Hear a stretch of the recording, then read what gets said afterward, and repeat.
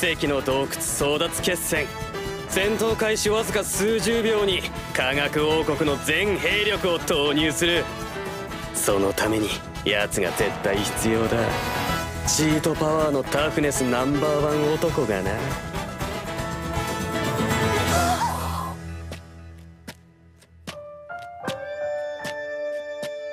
不思議だ。初めて会うのに私は君の名を知っているよ。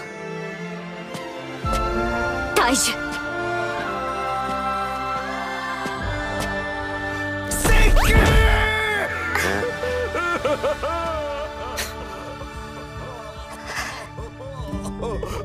これで科学王国のカードは出揃った。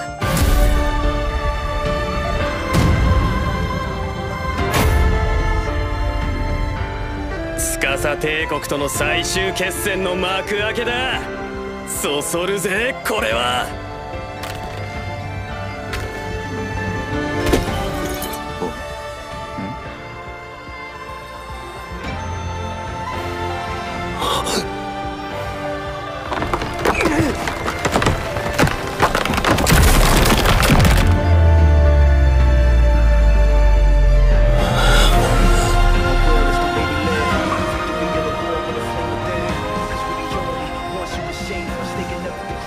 ハーバード大の心理学者ショーン・エーカーっておっさんの研究によれば人間の衝動が持つ時間はわずか20秒。